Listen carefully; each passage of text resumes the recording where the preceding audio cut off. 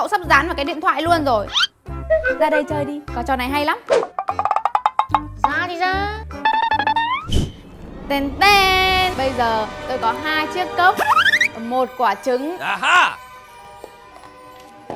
Bây giờ ông đoán được chiếc cốc nào có quả trứng nằm ở trong đấy Thì ông sẽ nhận được phần thưởng lớn nhất của chương trình Cool vận động mỗi ngày Là chiếc xe đạp thể thao siêu cool. Ui, bà săn được thẻ đặc biệt để đổi xe à? Phải công nhận là xe thể thao siêu cool quá là đẹp luôn. Lại còn được trang bị cả đèn chiếu sáng này Đồng hồ đo quãng đường này Giá đỡ được nước này Thiết kế thời trang lại còn chịu lực thể thao tốt nữa chứ. Quá tuyệt vời. Đã xứng đáng để cho ông chơi chưa? Chơi thì chơi sợ gì? Mắt tôi tinh như cú vọ. Nhưng nếu mà thua thì ông sẽ phải mất cho tôi quạt đa năng, ba lô chống gù đa di năng của cool nhá Chiếc quạt cool thân yêu của anh Mà anh đã phải đổi 24 thẻ quà tặng mới có được. Cả ba lô chống gù Anh đã cũng phải đổi 36 thẻ quà tặng cool mới đổi được. Các em cứ yên tâm. Rồi anh sẽ lấy thêm bạn về cho các em thôi. Chơi. Round one. Nào, đoán đi, bên nào? Chắc chắn là chiếc cốc này. Ơ.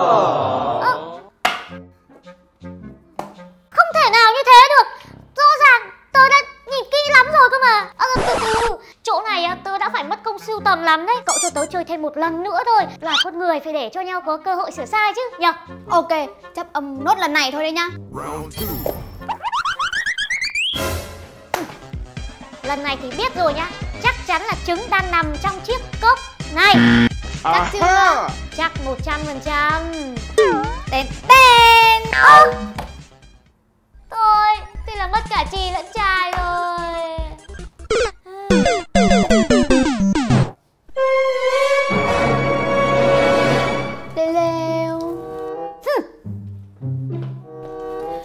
được rồi, dù gì ông cũng đã thua rồi Nên tôi quyết định chỉ cho ông một bí mật phép thuật.